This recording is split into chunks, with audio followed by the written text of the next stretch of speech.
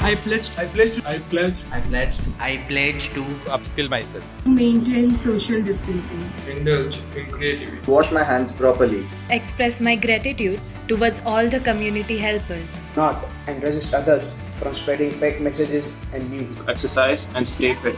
Follow all the directions given by the government of India. Make content that enlivens people during these hard times. Not to hoard essentials. Render social services. Innovate something.